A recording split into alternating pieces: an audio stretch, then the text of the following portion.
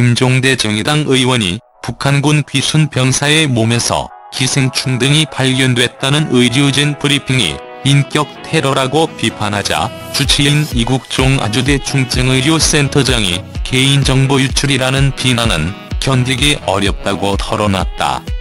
김종대 의원은 이에 다시 의료법 위반이 아닌지 우려된다고 재반박했다.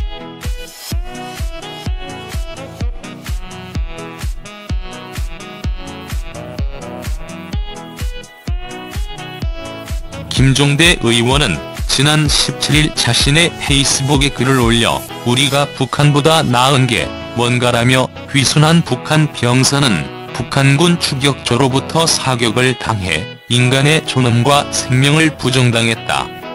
사경을 헤매는 동안 남쪽에서 치료받는 동안 몸 안의 기생충과 내장의 분변, 위장의 옥수수까지 다 공개되어 또 인격의 테러를 당했다고 썼다.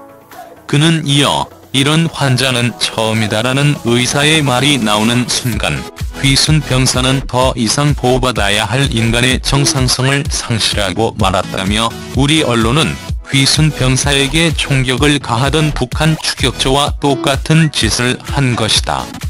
자유와 행복을 갈망하던 한 존엄한 인격체가 어떻게 테러를 당하는지 그 양상이 적나라하게 드러나고 있다고 지적했다.